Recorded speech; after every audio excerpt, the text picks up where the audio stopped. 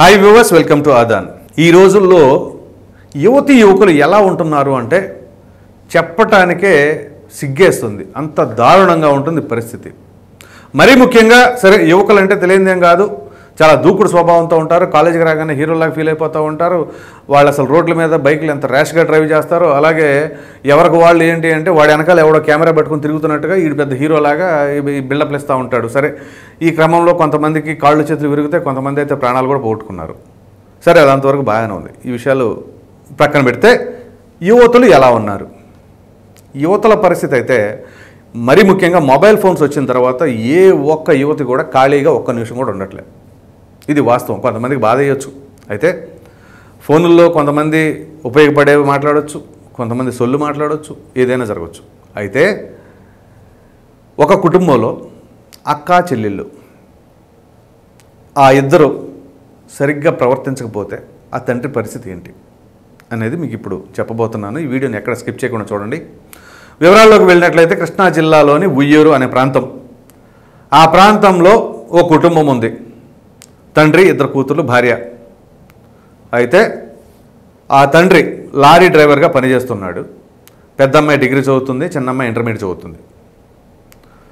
సరే వీళ్ళకి ఇటీవల కొంచెం తరచుగా ఒంట్లో బాగోట్లేదని చెప్పేసి అన్న తర్వాత వాళ్ళ తండ్రి ఏం చేశాడంటే వాళ్ళిద్దరిని తీసుకెళ్ళి హాస్పిటల్కి టెస్ట్ చేయించాడు చెకప్ చేపిస్తే షాకింగ్ విషయం. ఏంటి అంటే ఇద్దరు కూడా ప్రెగ్నెంట్ అనంట మరి ఇద్దరు ప్రెగ్నెంట్ అయితే అది కూడా పెళ్ళి కాని పిల్లలు. తండ్రి పరిస్థితి ఏంటి? సమాజంలో తల ఎలా ఎత్తుకొని తిరుగుతాడు?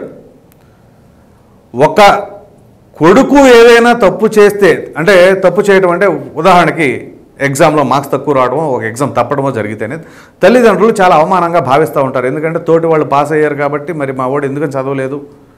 ఈ విధంగా బాధపడతారు. తప్పలేదు. కానీ ఇట్లాంటి నీచమైన పనులు జరిగితే ఆ తండ్రి పరిస్థితి ఏంటి? ఆ ఎగ్జామ్ తప్పాడు అనుకోండి తర్వాత మరలా రాసుకుంటాడు నెక్స్ట్ ఇయర్ రాసుకుంటే ఒక సంవత్సరం పోతుంది నష్టం లేదు. కానీ ఈ విధంగా నెల తప్పితే ఏంటి పరిస్థితి? తండ్రి పరిస్థితి ఏంటి? వాళ్ళ సమాజంలో మిగతా వాళ్ళు ఎలా చూస్తారు వాళ్ళు? మరి ఇవన్నీ ఆలోచించాలి కదా. డిగ్రీ చదువుతున్న పిల్లలంటే తండ్రి లారీ డ్రైవర్ అంటే తండ్రికి చదువు లేదు కాబట్టి కనీసం కొడుకులు లేకపోయినా నా కూతురులోనే కొడుకులు చూసుకుంటున్నానని చెప్పేసి కూతురుని ఆ విధంగా చదివిస్తున్నాడు అంటే మరి ఆ తండ్రి గొప్పతనమే కదా. మరి అటువంటి తండ్రిని ఈ విధంగా మోసం చేస్తే ఏం చేయాలి డిగ్రీ చదువుతున్న పిల్ల ప్రెగ్నెంట్ వాళ్ళ చెల్లి ప్రెగ్నెంట్. ఏంటి పరిస్థితి? అంటే యువతులు ఏం చేస్తున్నారు అసలు? ఇవాళ ఈ సమాజంలో మామూలుగానే మంచిగా ఉన్న యువతుల పరిస్థితే బాగోవట్ల. ఎందుకంటే బయటకు వెళ్తే రక్షణ లేదు. అది ఎక్కడైనా సరే. ఇంకొన్ని చోట్లయితే మనం ఎన్నోసార్లు చెప్పుకున్నాం. కన్న తండ్రే కూతుర్లపైన అఘాయితీ పాల్పడిన ఘటనలు చాలా ఉన్నాయి. మరి అట్లాంటి టైంలో ఒక మంచి తండ్రి ఇంట్లో ఉండి చక్కగా బాగోగులు చూసుకుంటుంటే బ్రహ్మాండంగా చదివిస్తూ ఉంటే మరి దాన్ని ఏమనాలి? ఒళ్ళు కొవ్వు పట్టనాలా? లేకపోతే మదం అనాలా? ఏమని అనాలి? ఇట్లా ఇట్లా చేసిన వాళ్ళ పర్టికులర్గా నేను చెప్తున్నాను. చివరికి ఈ అవమానం భరించలేక ఆయన వెక్కి వెక్కి ఏడ్చి నలుగురిలో తలెత్తుకోలేక పురుగులు మనం తాకి చనిపోయాడు ఆయన. ఈ పిల్లలకి జన్మనిచ్చిన పాపానికి ఆయన బలవన్మరణం చేసుకోవాల్సి వచ్చింది. మరి వాళ్ళ బిడ్డల్ని కంటున్నప్పుడు తండ్రి ఎంత ఆనందపడతాడు అంటే ఆ బిడ్డలను చూసుకొని మురిసిపోతూ ఉంటాడు. కానీ వాళ్ళ చావు కారణం అవుతున్నారు ఆ బిడ్డలు. మరి అట్లాంటప్పుడు ఆ బిడ్డల్ని కంటున్నప్పుడు బిడ్డల్ని కాదు కన్నది అతని చావును అతను కన్నట్టుంది. కాబట్టి ఒకటికి పదిసార్లు ఆలోచించుకోండి. మీరు ఏదైనా పని చేసేటప్పుడు మనం చేస్తున్నది అసలు ఏంటి? నువ్వు అంటే నీకంటూ ఏమి లేదు అక్కడ సొసైటీలో. నువ్వు అంటే పలానా వాళ్ళ కూతురు పలానా వాళ్ళ కొడుకు. అదే మీరు రిఫ్లెక్ట్ చేస్తున్నారు. సో మీ తల్లిదండ్రులు మీరు రిఫ్లెక్ట్ చేస్తున్నప్పుడు వాళ్ళ పరువు బాధ్యత ప్రతి ఒక్కటి మీ పైన ఉంటుంది. మీరు చేసే ప్రతి పనికి ఆ ఇంటి పేరు ఆ మీ నాన్నగారి పేరు కూడా ఉంటుంది వెనకాల. పలానా వాళ్ళ అబ్బాయి అంటారు కానీ పలానా సుబ్బారావు అని డైరెక్ట్గా చెప్పరు. పలానా వెంకటేశ్వర గారి అబ్బాయి సుబ్బారావు అనే చెప్తారు. మీ పేరు సొంతగా రావాలి అంటే నీకంటూ ఒకటి క్రియేట్ చేసుకుంటే అప్పుడు నీ పేరు వస్తుంది అప్పుడు నీ సావు నువ్వు సావు ఎవడో ఏమండవు. అంతేగాని ఈ విధంగా ఒక తండ్రికి ఒక తల్లికి కొడుకు కూతురుగా ఉన్న టైంలో మాత్రం మీరు ఎట్లాంటి దుర్మార్గపు పనులు చేస్తే చివరికి మిమ్మల్ని కన్న పాపానికి వాళ్ళ ప్రాణాలు వాళ్ళే తీసుకోవాల్సి వస్తుంది. అది కూడా బలవంతాన. కాబట్టి ఇప్పటికైనా సరే ఆలోచించండి.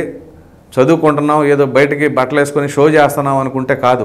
ఏ ఒక్క అవసరం ఉన్నా అదే తండ్రిని పట్టుకుని అడుగుతారే నాన్నగారు నాకు ఫోన్ కావాలి. నాన్నగారు నాకు డ్రెస్ కావాలి. నాన్నగారు నాకు షూ కావాలి. మరి ఇవన్నీ మీ నాన్నగారు చూసుకుంటున్నప్పుడు నీకు ఏ వయసులో ఏది అవసరం ఆయనకు తెలీదా? నీకు అంత ఇదిగా ఉన్నప్పుడు మీ తల్లిదండ్రులు చెప్పి నాన్నగారు నేను చదువుకొని నాకు పెళ్ళి చేయండి అని చెప్పేస్తే చేస్తారు కదా.